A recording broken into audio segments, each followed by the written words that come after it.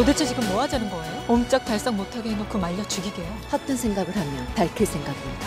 동료님은 정말 엄마가 되려는 걸까? 혼인신고서에 도장까지 찍었으면 진심 아니야? 장 대표님이 여긴 어쩐 일이십니까? 약속이 있어서요? 혹시 동료 씨랑 네. 대표님, 괜찮으세요?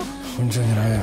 일단 장도연 대표에 대해 좀 알아봐 주시겠습니까? 알려줄 수 없다고요? 알려주세요. 곧 죽는다고.